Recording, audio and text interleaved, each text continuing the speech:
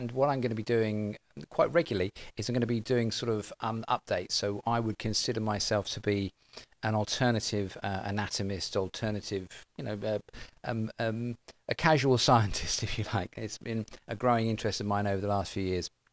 So, uh, my main interest is in um, functional movement, human movement, and how that gets represented in um, the world of anatomy, which it kind of doesn't really. And what got me thinking about this morning was I'm going to be going on a um, podcast with a, a really interesting uh, neuro guy tomorrow night, and I'll put that uh, that up when I'm when I'm when I'm done. And looking at some of his questions, it was thinking, well, you know, this is really good stuff that I need to answer, but I also need to answer it in more detail.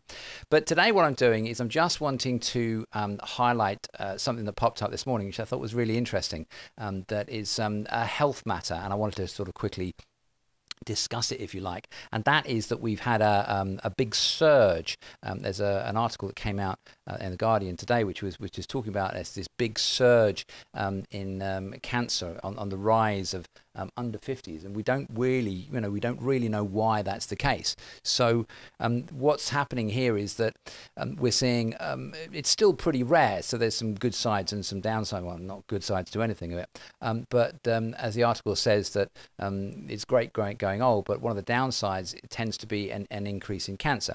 Um, now, for the majority of people, the, the, the, good news is for the majority of people, um, you still it's still quite rare if you're under 50 to get cancer. So if we put this into context, um, then um, cancer research tells us that the, between the um, early 1990s and, and uh, 2018, um, the cancer incidences increased, but um, that's the, the point about it is this: is that we are still it's still very very rare um, under uh, under the age of 50, and accounts for sort of 95% of people over the age of 50. In fact, over, over 75s, 50% uh, of cancer affects the over 75. So 90% of all cancers affect people over the age of 50. So it's rare. So the thing I want to start off today is, is talking about um, um, just briefly to remind ourselves about the difference between incidence and prevalence because it's quite an important thing. So, um, and th- it's the way that we measure things um, and how we come up with things, and also, you know, what's the incidences of things and how often do they happen. So, most people, I know we, we get frightened by the word, but most people aren't going to die um, of cancer. Now, many people will die with cancer, um, and some people won't even know they've got it, you know, particularly things like prostate cancer.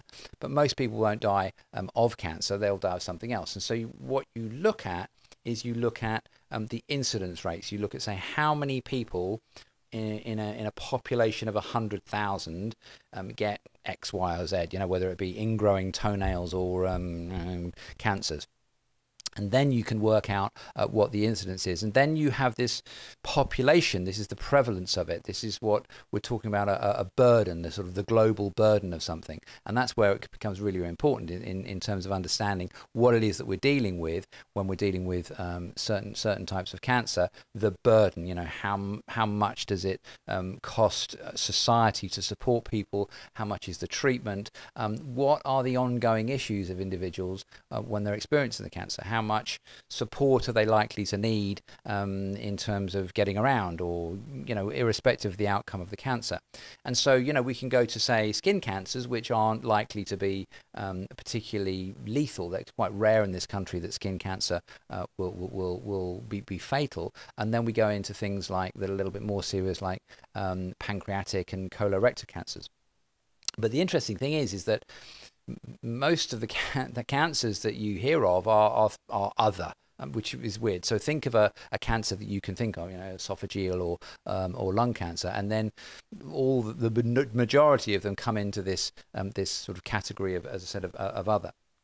So let's go back and have a little look at this um, at this article that, that came in and see if we can um, sort of make any sense of it. So the article this morning um, was was in the Guardian, um, and it talks about you know it says the upsides to growing old, um, and then it, um, it, talks about this grim trend. cancer, uh, pe- uh, people under the age of 50 becoming more common. and so the number of people under 50 being diagnosed with cancer worldwide rose by 79%. Now, again, you've got to remember that what you're talking about is 79% increase in those people within that populace. So I, I don't know what the incidence rates of of of, of cancer are, um, and this is going to be cancer of all kinds of cancer are um, in per hundred thousand of say um, uh, liver cancer. but supposing supposing it's it's it's 25 in 100,000. Okay, again, just off the top of my head. And then what you're looking at is you're looking at an 80% increase of that incidence rate. So you're saying what is 80% of 25 and even if it's 100% 25 it's another 25 and so if you said it's doubled or what have you which it hasn't doubled here in this instance it's saying it's 80% of the existing um, incidence rate. So um, you know let's just say it's 100% so that would mean that you've got 50 in 100,000 rather than 25 in 100,000 that's statistically quite a significant leap but it's still you still got to take that into uh, account um, and we've seen this before and when you've had um, things that, uh, that that seem scary, like eating sausages will uh, you know quadruple your risk of cancer. And and you know the statistics and the the research bears that out. Um, but the quadruple is quadruple of the overall risk. It's not that if you go out um, and eat and eat sausages you are four times more likely.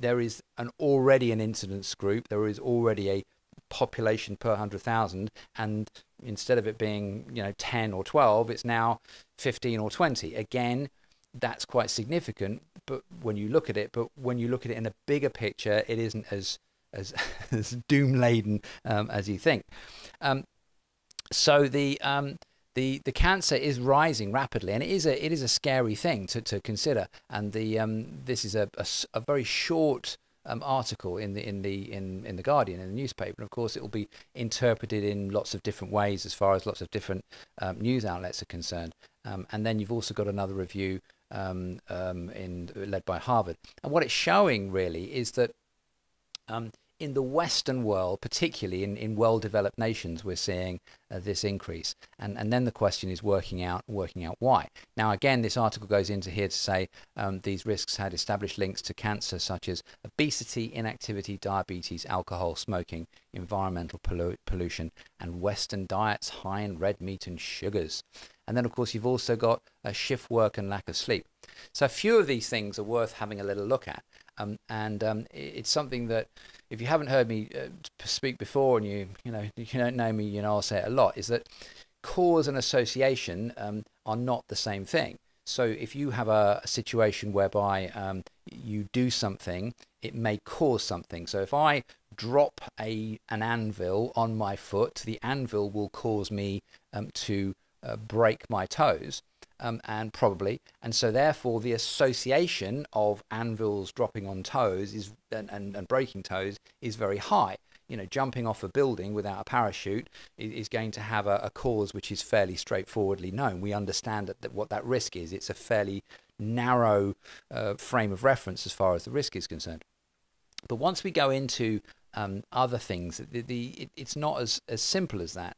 Um, and I you always like to use the analogy of um, um, uh, wearing sandals causes people to um, eat ice cream. You know, so you say, well, does it mean that if I wear sandals, I'm, you know, more people who wear sandals are eating ice cream? And it, what's the association? How have we got there? So if you looked at it, you'd say, well, uh, people are more likely to wear sandals in the summertime or when the weather's good.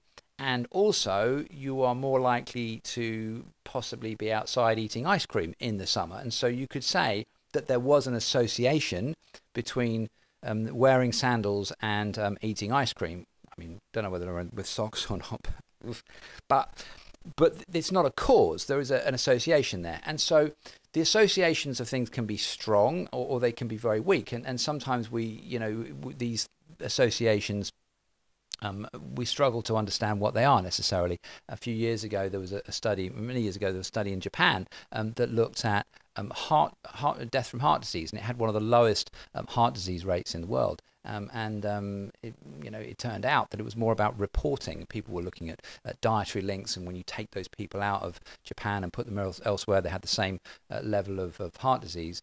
and it was to do with the societal view of, of heart disease and how it was sort of considered to be shameful, and people therefore didn't, you know, doctors seemed not to report it.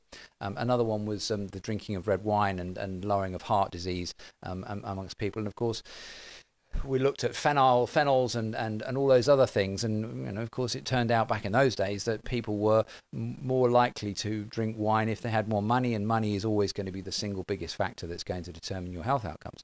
So, so association and cause have to be looked at.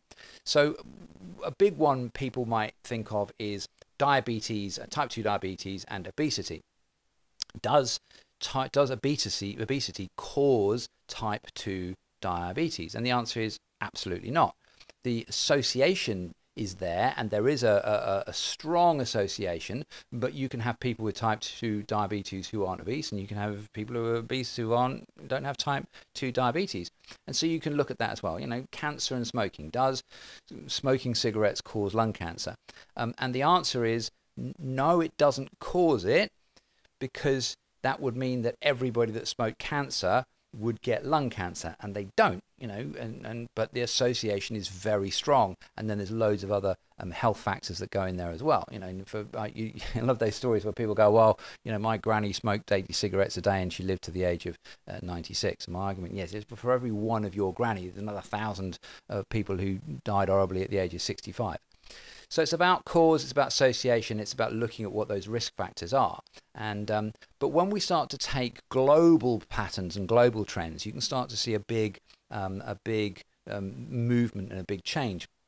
And one of the things that happened a few years ago, back in the 70s, was that um, there was an, a big incidence and a big increase in, in heart disease rates and, and people were you know worried about what was going on with that and why. Um, and, and a government, uh, the American government, commissioned a man to go and look at it. And what he said was that uh, he found was that um, saturated fats were were contributing to heart disease. And actually, when you crunch that data, that wasn't true at all. Um, and, and the association was very, very poor chapter called Ancel Keys. There's a whole you know, load of stuff on it you'll find on, on, on, on the internet, it's all out there. But what happened as a result of that was that there was a massive big swing to people trying to cut back. It was always low fat and, and, and reducing fats and, and uh, trying to reduce these cholesterol levels. And cholesterol is just something that's produced by the body anyway. You know, it's not the cholesterol as such, it's, it's the triglycerides, which is another story. And what then happened was that was that once you take fat out of things, a tendency is for them to be uh, a little bit bland. You know, you've got a the mouth feel that goes with with having fat, and so therefore the tendency for people a lot of the time uh, was to lean on other things to make the flavour come up, which is the, the sugars and the salts, and that's when you can look at the spike of, of heart disease, um, and you can see that what's gone on is that it's increased, and diabetes and all those kind of things have increased since the 70s in particular.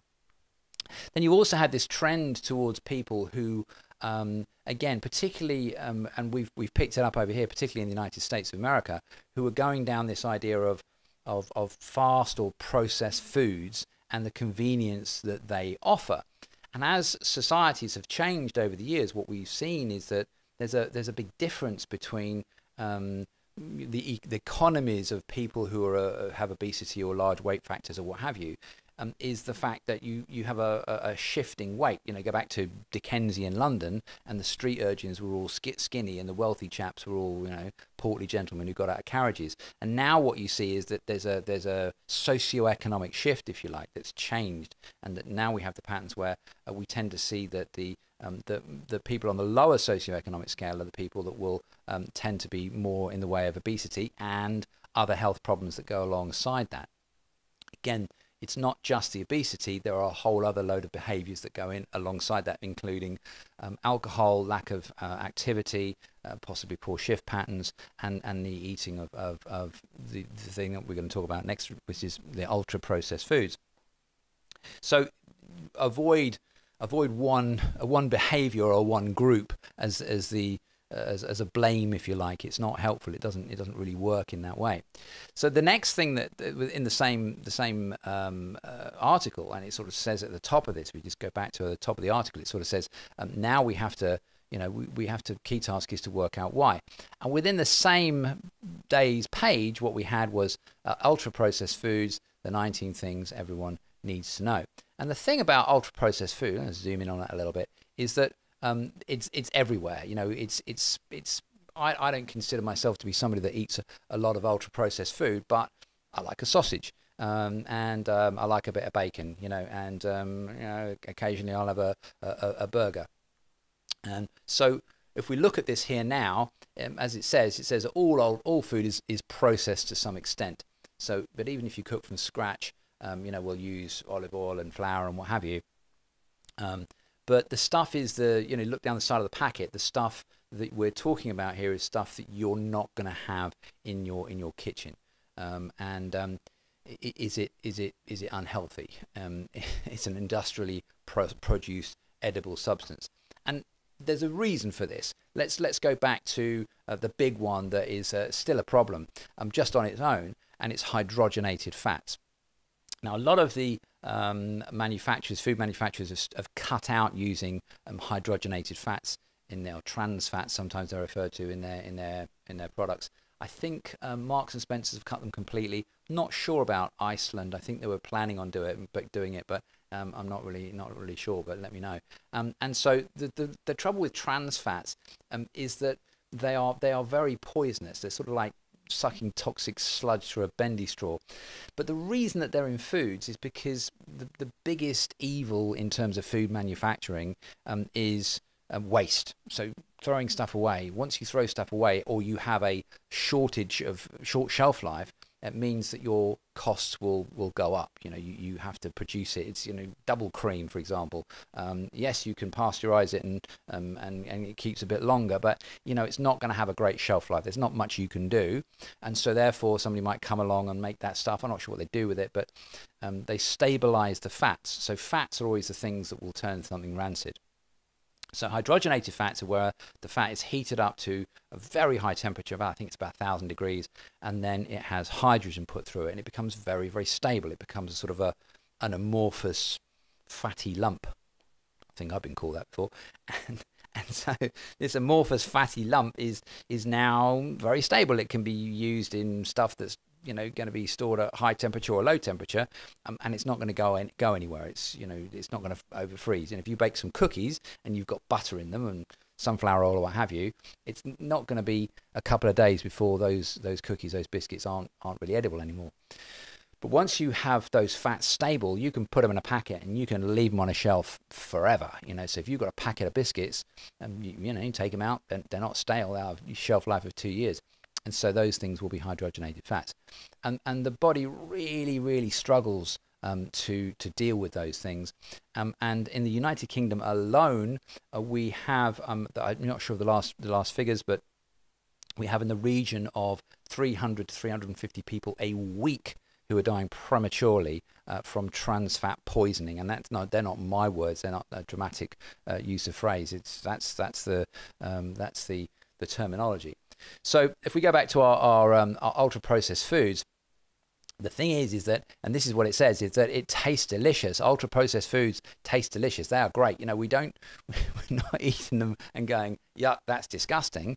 Um, for a lot of people, they are, you know, they're yummy. They, they're great. And they represent um, um, a lifestyle, they represent a capacity to be able to eat that they wouldn't otherwise be able to eat.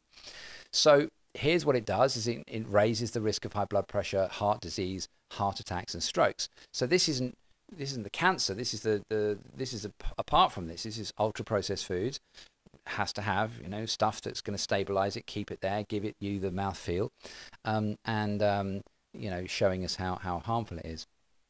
Um, a high consumption of um, ultra processed food is linked to obesity, cancer, type 2 diabetes, depression, dementia, and tooth decay, amongst other conditions. So, again, it's not just the, the cancer involved. And um, uh, the, the uh, uh, study, uh, this is the shocking thing 50% of the average UK diet is made up of uh, UFP, and among children and poorer people, it can be as high as 80%. And that's a frightening thing. Why? Because think about it. You know, if you're a if you're a, a single mum, uh, perhaps, and you've got a couple of kids, or you know, at home, and you're, you're working a couple of jobs, and uh, you can't afford, you haven't got the time to go out and buy ingredients and and, and cook them and, and and create something. Um, even if you knew how to, and the education on this is, isn't as high as it used to be. And so, what do you do? You, you go down to the supermarket and have a little look next time you're down there. Now, Asda have got some two for ones as far as their fruit and veg is concerned, but it's very hard to to get a, a, a basket full of fresh ingredients that you're going to home home cook um, that's cheap. Um, and so you you look at the two for one pizzas. You know, you can get pizzas in, in Aldi, Lidl, and, and Asda. You, know, you can get two pizzas for a couple of quid. And so you can really stack up on very very cheap filling um, foods um, baked beans, all these things. And these are ultra processed foods. These are foods that have all those associated uh, uh, risks. So, the question is, how do we know if I'm eating uh, ultra processed food? And um, we, we don't have the health warnings, but um, is it, you know, the, look out for the, for the, the health claims. Um, and uh, does it contain palm oil? This is a, another issue that we've got. Um, is it made by a multinational company? That's that's the point. Uh, that's really uh, the, what you got to think about. Did that company start uh, with a cheap crop such as a lentil and turn it into lentil puffs? I love lentil puffs; they're great, but they're, they're ultra processed foods, and these are the hallmarks. This is where you can look for. Um, um, I'm a great fan of a man, chap, chap called Michael Pollan. Um, he's got um, um, a program, a series on Netflix. It's been out for a few years now, and it's called Cooked. Just Cooked. That's the name of it. And there's only four episodes in it, and he covers um, air, earth, fire, and water, the elements. And he talks about um, our relationship with food and how we've become um, programmed to think of um, convenience as being a, a, sort of a right. Um, and in another talk he gives, he talks about a McDonald's potato. And I'll give you the story of Michael Pollan's McDonald's potatoes. You will notice that they're sort of, you get a, a, a basket of those chips, those fries in McDonald's and they're very long and they have to sort of stand up straight. And so, in order to get those potatoes, they, they come from a specific potato, and, that, this is called uh, the Burbank russet. You know, my little storage of information, the Burbank russet. Um, and it, they're very hard to grow, um, and um, they, they, they are subject to um, an aphid which causes something called net necrosis. And if you've ever cut a potato in half and you've seen brown threads running through the potato, that's called net necrosis. It's, it's harmless in terms of eating it, uh, but McDonald's won't buy them. Um, so, in order to get rid of this net necrosis, they have to spray this um, potato with a, um, a insecticide. And I think the insecticide is called um, Motion or Notion. I'm not sure which. But either way, and after five days um, of, of, of, once this has been sprayed, the five days is the period of time that those um, farmers cannot go into those fields. There's, there's so much degree of toxicity that those farmers can't go anywhere near those fields for five days. Now, when the potatoes are harvested, they're pulled up out of the ground, they have to be stored in huge atmospheric warehouses for six weeks before they are edible. They are not safe to eat until um, six weeks after they've been pulled up out of the ground. And that's the McDonald's fry, ladies and gentlemen. So that's the interesting thing. Um, um, at the end of this talk, Michael says, uh, Pollan says, um, what's been studied is that is that people, particularly in poorer communities, women who cook um, and who know what is going in have better health outcomes than um, other women, irrespective of their wealth, which is a really big change because generally speaking, we see that, that money is one of the big indicators of health outcomes. But here's a, a, a curveball to that statistic that people that cook um, and and know the, the, the provenance of their own food and put their ingredients in have better health outcomes uh, than people that don't, irrespective of wealth. Now I haven't got the data on that. I haven't uh, found the paper on that yet. Um, but you know, as soon as I do, I'll let you know. So it's really interesting that over the years we've sort of said there are no bad foods, but now there's kind of a list that's coming up. And if you don't recognize, you know, what that food is, if you haven't got that in your cupboard, if you've got, you know, guar gum or whatever it happens to be, then, um, you know, the chances are um, it, it's not something that is able to be made without it being ultra processed. Um, I, I bought a, I was camping recently and I bought a jar of, um, of tomato sauce. You know, I thought oh, it's going to be quick and cheap. I'll just chuck it in, and and and there's this there's this feeling, this mouth feel to it. It was sort of slimy, uh, uh, and, and I, I couldn't get my head around it. It wasn't like it's thickened. If I put some corn flour into something and I can thicken it, that's different. But this was a sort of a slimy um, texture to it that was just disgusting, and, and, and I had to sort of keep keep pouring, go and get better tomatoes and, and add things to it. So it's just weird that, that you know I suppose we get used to it. Same thing with, with diet drinks. You know, there's that flavour to it. The, the fizzy drinks, it's a flavour to it that just tastes weird.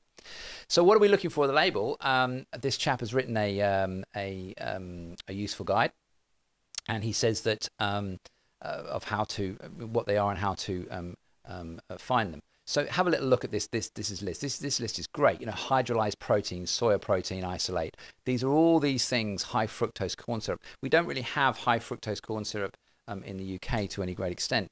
Um, you know, outside of Brexit, then then look for that. Um, and uh, concentrates, things that invert sugars. And there's about 30 different names that I know of uh, for sugar, um, maltodextrose, all these things and different um, modified oils, hydrogenated or um, in, in interestified um, oil. Uh, that's another another subject.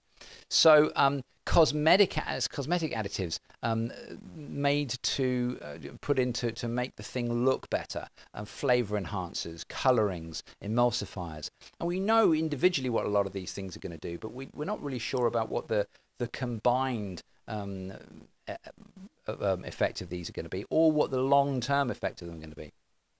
Um, bulking, carbonated, foaming, um, gelling. So um, you know that's it. So UK flour um, is is routinely fortified with calcium, um, and we have cornstarch. That's fine. Um, you know, ascorbic acid.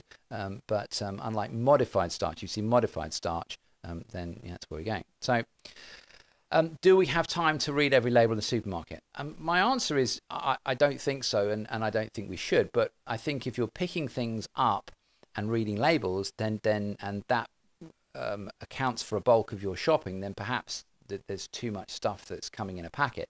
And I always give people the advice about you know people say, well, what should I eat? And like, well, you know, what you like. I I, I don't have any um, any drum to bang as far as what I think you should do. I think we should all eat less meat because um, it's environmentally a better thing to do, and, and I think probably health-wise it's a better thing to do as well.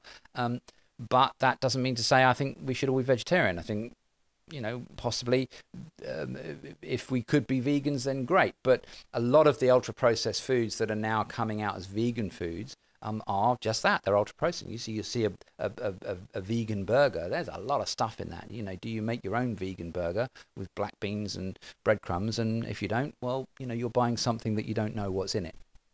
So I always say that if you shop around the outside of the supermarket, if you if you think about it, all the junk, all the crap is in the middle of it. You know, as you go down the, uh, as you walk in through the front, generally the, the fruit and veg is, is close to the front, and you go down the back, and there's you know often the uh, the fishmonger and the butcher down the back, and and then you know the alcohol's always down the back as well. Don't miss that bit out. And then maybe some frozen food, some frozen veg or what have you, and then you've got the uh, you've got the checkouts. And so all the stuff in the middle is is is the stuff that is going to have this kind of stuff in it.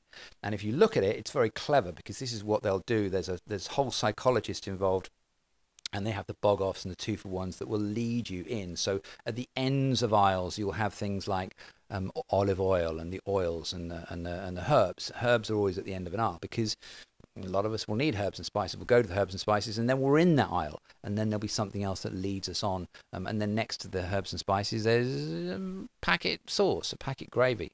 Um, that was the other thing I tried. It was like a, a, a taco spice mix, and it was like it just had this emulsifying stuff. Anyway, and then you follow it down, and then suddenly you're in the aisle, and, and then before you know it, you've got you know your cooking sauces and what have you, and and there you go. There's purgatory, and um, so so what what isn't um, ultra processed food? And uh, this classification um, talks about there's sort of different levels of it, different categories.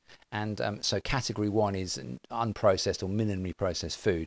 So fresh, frozen, dried fruit, vegetables, milk, plain yogurt, fresh meat, fish, um, grains and legumes, that kind of thing. Um, your lentils, mushrooms, eggs, flour, nut seeds, pasta, and couscous. And then you've got a category two, um, which is something like butter and vegetable oil. Now, so you can't really, you know, if you take think about butter, it's been processed, it's been um, churned, um, and the you know the the whey's been taken out, the, the the milk liquid has been taken out to leave the milk solids, and so that is a processed food. Um, similarly to maple syrup, you know, you've got to do something to it, um, and so you can't really, you know, an oil, you can't just take the sunflower, you have to press it and process it, um, and um, you know, obviously it's going to be the more you pay for it, the better it's going to be.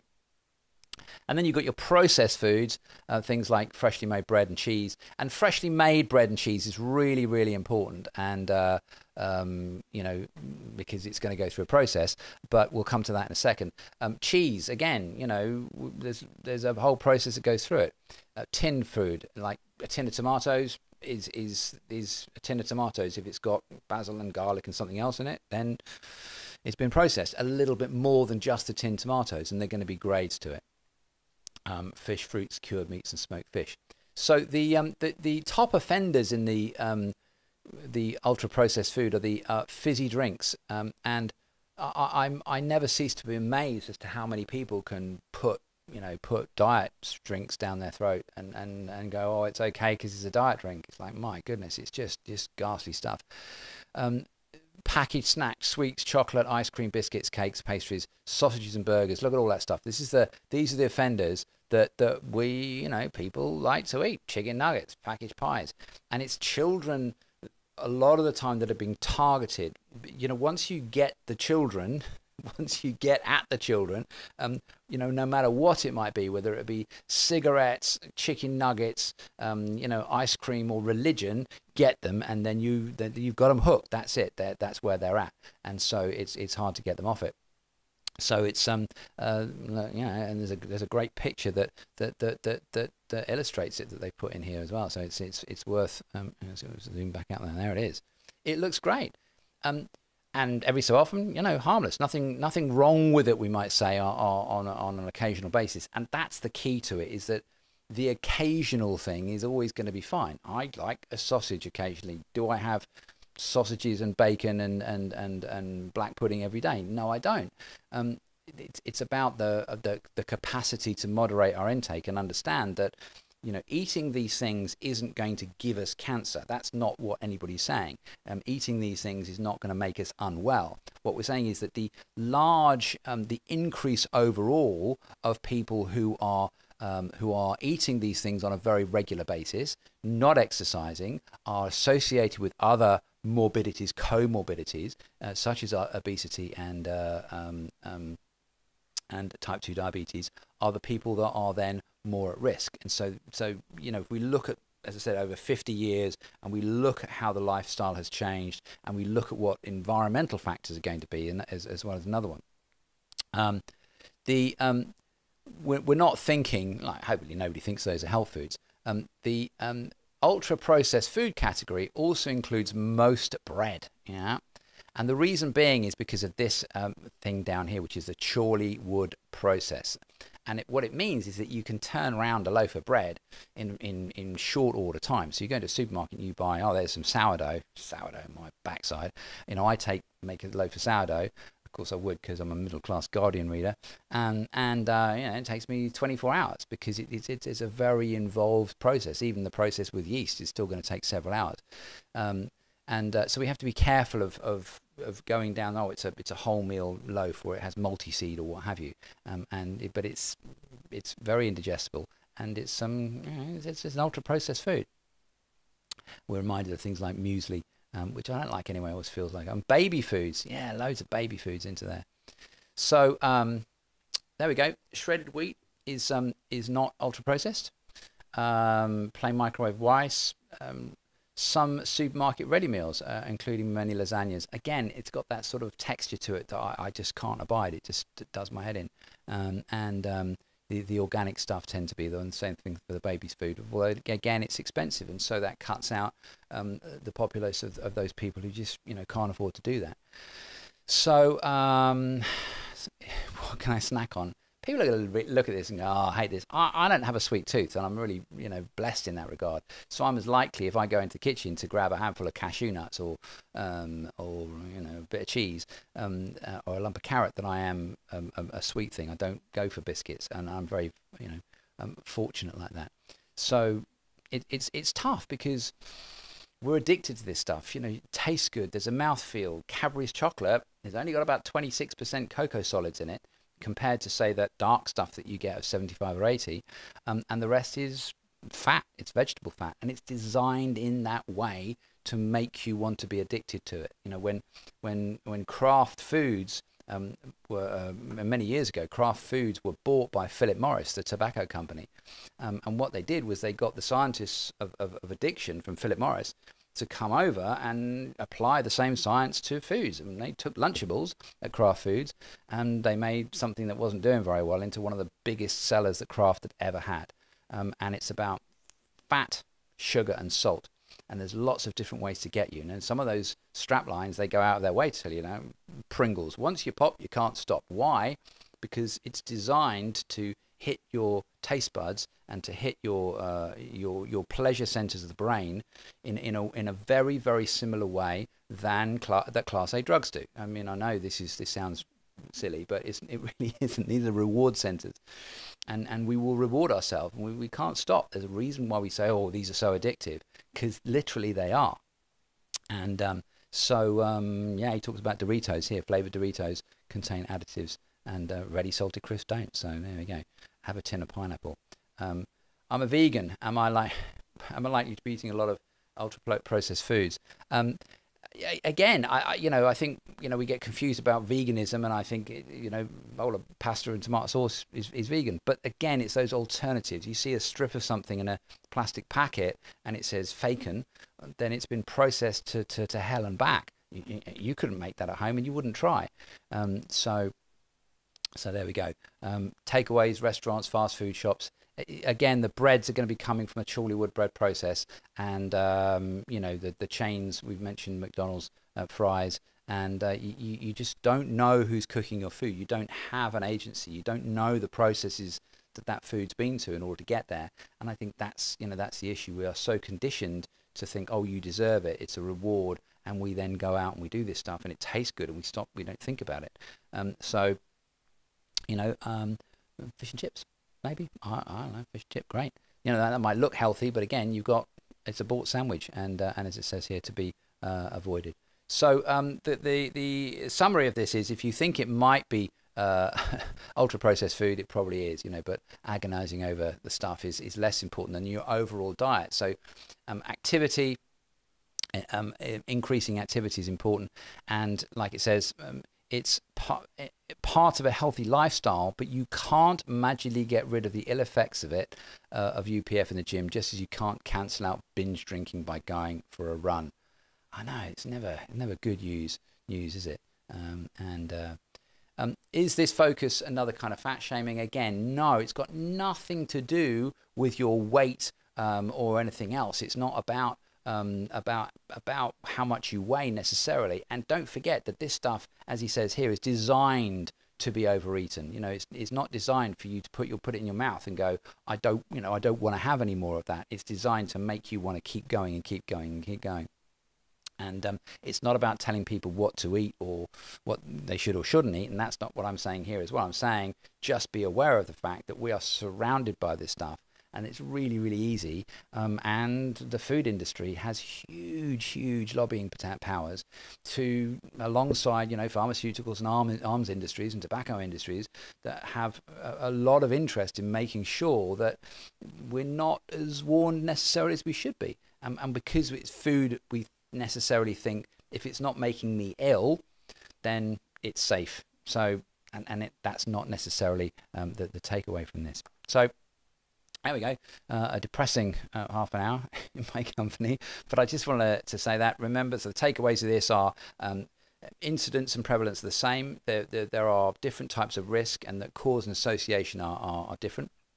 Um, and that, um, uh, yeah, that's my name, keep and that um, um, what we eat necessarily isn't necessarily what we eat um, on, on, on, occasionally it's how we look at our overall life and go what is the the main factor? What is the the feature? If i was to look at a room and say right the theme of the room is red what's the theme of my diet? You know how much of um, am i eating um, that is food that i don't have any control over um, and how could i get a little bit more control? And sometimes we have to start little and often. And maybe it's my kids. I know it's really tough with kids you know they want to eat anything different. They want you know junk and, and they like it.